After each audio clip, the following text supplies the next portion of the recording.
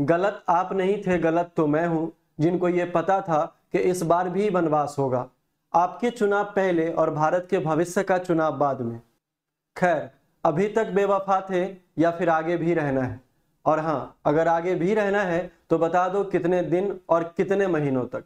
नमस्कार दोस्तों, मैं कुणाल गुरु आपका एक बार फिर से स्वागत करता हूँ आपके अपने चैनल एस्पिरेंट लाइफ पे। तो इस वीडियो में हम लोग बात करेंगे बिहार एसएससी के एग्ज़ाम डेट के बारे में और भी बहुत ज़्यादा इंपॉर्टेंट टॉपिक्स के बारे में। जैसे बिहार एसएससी का एग्ज़ाम डेट बात करेंगे, बिहार एसएससी सिलेबस के बारे में बात करेंगे। सिलेबस जो आपका सब्जेक्ट वाइज होगा, उसके बारे में बात करेंगे। और क्वालिफाइंग मार्क्स क्या है, ये भी बात करने वाले कट ऑफ़ और लास्ट में खुशखबरी भी हम लोग चलने आएँगे, ठीक है? लेकिन उससे पहले चैनल को एक बार सब्सक्राइब कर लीजिए, वीडियो को एक बार शेयर करते रहिएगा और वीडियो को इंड तक देखिएगा, क्योंकि वीडियो इंड तक देखिएगा तो सारी बातें स्टेप बाय स्टेप क्लियर हो जाएगी, ठीक है? अब क्या है कि ये मैंने यूट्यूब पे बिहार एसएससी का पूरा का पूरा कंप्लीट रीजनिंग मैराथन अपलोड किया था। सात घंटे का आपका रीजनिंग का मैराथन है। पचास सवाल आपके रहने वाले हैं 200 नंबर का आपका सवाल होने वाला है पूरा का पूरा। तो ये जाकर देख लेना, इसका लिंक आपका डिस्क्रिप्शन बॉक्स में दिया गया है। अब यहाँ जरा था ध्यान देना कि इंटर स्तरीय भर्ती परीक्षा के लिए करना होगा इंतज़ार, क्योंकि 25 से 26 लाख बच्चे हैं बेकरार इस एग्ज़ाम को देने के लिए। भाई, तैयारी सारे लोगों का हो चुका है, रिवीजन भी सारे लोग कर रहे हैं। ऐसा नहीं कि हमारे भरोसे या फिर आपके भरोसे बैठे हुए हैं, ठीक है? तो इन्होंने कहा था कि तीन महीना इंतज़ार करना पड़ेगा। तीन महीने इंतज़ार करने का मतलब है कि जून जून समझ रहे हो? चार जून को रिज़ल्ट आएगा तो इनका व्यवस्था पहले से अगर अच्छा होगा तो जुलाई या फिर अगस्त में ये एग्ज़ाम ले लेंगे। क्या करेंगे भाई? जुलाई या फिर अगस्त में एग्ज़ाम ले लेंगे। अगर व्यवस्था में किसी प्रकार का कमी रहता है अरेंजमेंट अगर सेंटर वगैरह नहीं होता है तो ये हो सकता है कि एग्ज़ाम आपका अगस्त से सितंबर तक चला जाएगा। अब तुम एक बात बताना, लोकसभा का चुनाव का रिज़ल्ट 4 जून को आने वाला उससे पहले आचार संहिता वगैरह लागू होगा। एग्ज़ाम बहुत सारा हो रहा है, नहीं भी हो रहा है, ठीक है? उसके लिए छोटा सा नोटिफिकेशन देना भी उचित नहीं है इनके ऑफिशियल वेबसाइट पे। दूसरा, कि जब ये आपका विधानसभा का चुनाव होगा तो ये जनवरी से लेकर फरवरी तक में हो जाएगा।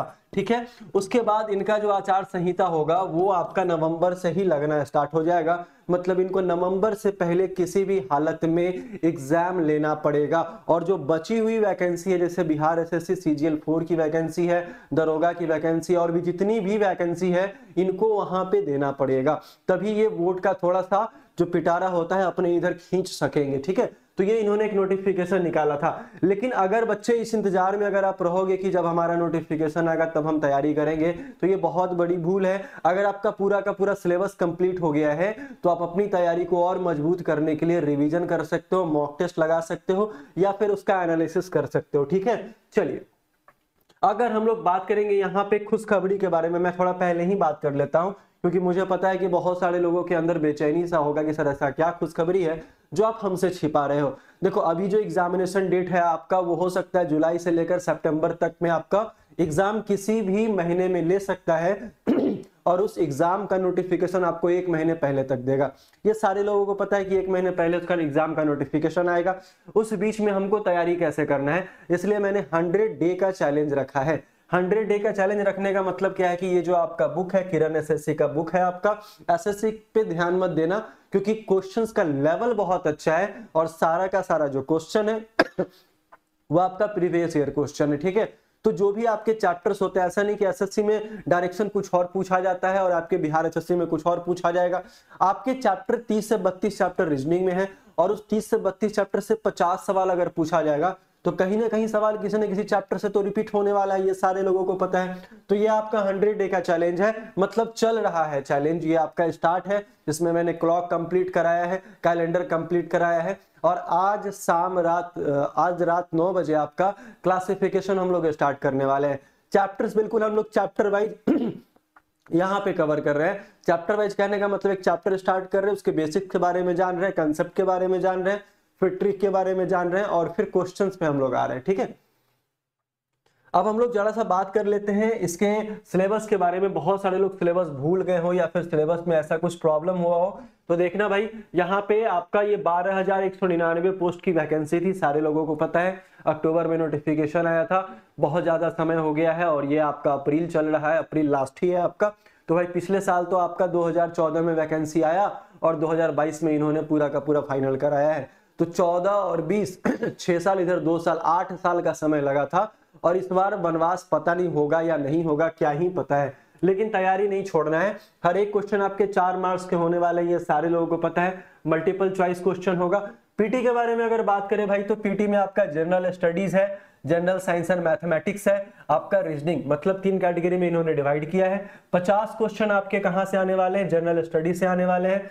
पच्चीस पच्चीस सवाल आपके कहाँ से? मैथ्स और आपके साइंस से आने वाले हैं और पूरे के पूरे 50 सवाल जो है वो रीजनिंग से आने वाले हैं। इसलिए मैंने कहा था कि रात नौ बजे वाला सेशन अटेंड करना बहुत ज़्यादा ज़रूरी है आप सारे लोगों के लिए। एक बार चैनल को सब्सक्राइब कर लीजिएगा, वीडियो को शेयर करते रहिएगा थोड़ा सा ठीक है?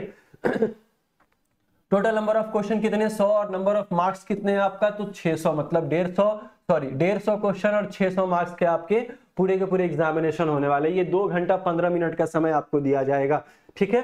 चलिए, आगे चलते हैं। अगर आगे हम लोग देखेंगे इसका पीडीएफ चाहिए तो टेलीग्राम चैनल ज्वाइन कर लेना।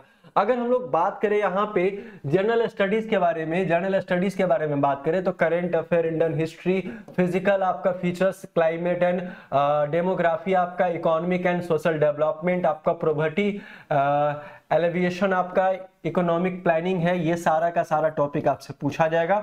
और इन्हीं सारे टॉपिक के हिसाब से आपको रिवीजन करना है या फिर आपको तैयारी करना है। ठीक है भाई जनरल स्टडी के बारे में हम लोग बात कर रहे थे। आगे आ जाइएगा। आगे आ जाइएगा। तो ये आपका जो सिलेबस है, वो आपका जनरल साइंस का है। फिजिक्स में क्या क्या पूछा जाएगा? बायोलॉजी का है बायोलॉजी में क्या क्या पूछा जाएगा? केमिस्ट्री का है केमिस्ट्री में क्या क्या पूछा जाएगा? इन सारी चीज़ों का पीडीएफ आपको टेलीग्राम चैनल पे मिल जाएगा। डिस्क्रिप्शन में उसका भी लिंक दिया गया, वो भी आप ज्वाइन कर लीजिएगा। या फिर कमेंट बॉक्स में दिया गया, ठीक है भाई? आ जाइए। आपका जो मैथ का सिलेबस है, वो आपका क्या क्या पूछा जाएगा? नंबर सिस्टम है, ये सारा का सारा टॉपिक आप एक बार देख लीजिएगा। तो बहुत ज़्यादा आसानी होगा तैयारी करने में और क्या आपसे छूटा है और किन चैप्टर्स का आपको तैयारी करना है, ठीक है? ये आपका रीजनिंग का है फोकस ऑन कॉम्प्रिहेंशन रीजनिंग है वेंडाग्राम है number series coding decoding problem solving technique है आपका।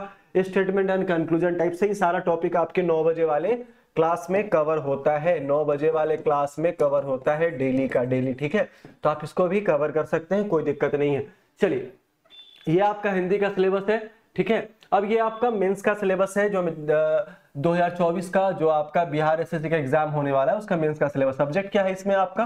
पेपर वन में जीए है, हिंदी लैंग्वेज है मेंटल एबिलिटी टेस्ट है आपका जनरल मैथमेटिक्स है और आपका साइंस होने वाला है, ठीक है? ये 100 क्वेश्चन है, ये 150 क्वेश्चन है, ये 400 नंबर का, ये 600 नंबर का दोनों के लिए अलग अलग दो घंटे पंद्रह मिनट का समय आपको दिया जाएगा, ऐसा इन्होंने लिखा था, ठीक है? तो इन सारे बातों पे यहाँ पे चर्चा जैसे हम लोग करते हैं तो अब हम लोग बात करेंगे किसके बारे में क्वालिफाइंग के बारे में। क्वालिफाइंग मार्क्स हमारा क्या है? कितने नंबर हमको लाने पड़ेंगे मिनिमम तो भाई यहाँ अगर कैटेगरी के बारे में बात करें तो आपका मिनिमम क्वालिफाइंग नेचर यहाँ पे दिया गया मार्क्स आपका दिया गया है। जनरल कैटेगरी वाले के लिए आपका 40 परसेंट लाना 40 परसेंट लाना बहुत ज़्यादा अनिवार्य है। जैसे 600 नंबर का आपका आ, ये पूरा एग्ज़ाम है तो छह चौक चौबीस आपका है ना? तो छह चौक कितना? चौबीस दो सौ चालीस प्लस नंबर आपको क्वालिफाइंग के लिए लाना पड़ेगा। 36.5 परसेंट आपका ओबीसी के लिए लाना पड़ेगा। उसके बाद ईबीसी e के लिए आपका 34 परसेंट है और फिर शेड्यूल कास्ट एस सी के लिए आपका 32 परसेंट है। आपका वुमेन ऑल कैटेगरी के लिए आपका 32 परसेंट है और हैंडीकैप्ड वगैरह के लिए 32 परसेंट दिया गया है। तो ये आपका क्वालिफाइंग मार्क्स आपको होना चाहिए। इसी तरीके से आप अपना जो भी एग्ज़ाम या फिर मॉक टेस्ट वगैरह देते हैं, जो आप टेस्ट लगाते हैं, उसमें आपका नंबर होना चाहिए, ठीक है? तो इन सारी बातों का ख्याल रखिएगा और एग्ज़ाम के बारे में बिल्कुल भी टेंशन मत लीजिएगा भाई, क्योंकि एग्ज़ाम होगा, बिहार सिविल कोर्ट का भी यही हाल था, लेकिन लास्टली उन्होंने स्टेनोग्राफर का रिज़ल्ट दिया, आठ मई से उनका ये टेस्ट स्किल टेस्ट होने वाला है। तो हो सकता है बिहार एसएससी ने बोला, तीन महीना इंतज़ार करो तो जुलाई से पूरा का पूरा एग्जामिनेशन आपका स्टार्ट हो जाएगा, ठीक है? तो तैयारी करना बिल्कुल नहीं भूलिएगा, क्योंकि एक एक चीज़ बहुत ज़्यादा इंपॉर्टेंट है। तैयारी जैसे ही छूटेगा, वैसे ही क्या होने वाला है? बहुत सारी दिक्कतें आनी स्टार्ट हो जाएगी। कभी आपका प्रैक्टिस छूटेगा तो नया क्वेश्चन अटेम्प्ट नहीं कर पाओगे, या फिर जो बना हुआ क्वेश्चन है, उसको भी आप क्या करोगे? अटेम्प्ट नहीं कर पाओगे। थोड़ा सा टाइम लगता है। टेलीग्राम चैनल हमारा ये है, आप यहाँ पे ज्वाइन कर सकते हैं। और दूसरा, अगर किसी भी तरीके का आपको पीडीएफ वगैरह नोटिस नोटिस वगैरह चाहिए, या फिर सब्जेक्ट का हो, या फिर ये जो मैंने आपको बताया है तो आप इस नंबर पे मैसेज कर सकते हैं। और इस नंबर पे एक ग्रुप है हमारा, इस ग्रुप को ज्वाइन कर लीजिएगा। इस ग्रुप को ज्वाइन कर लीजिएगा, जिसमें हम लोग सारी तरीके की, जो भी बातें होते हैं एग्ज़ाम से रिलेटेड हम लोग आपस में बात करते हैं, ठीक है? तो कैसा लगा वीडियो? बार वीडियो को शेयर करेगा तब तक के लिए बहुत बहुत धन्यवाद। जय हिंद।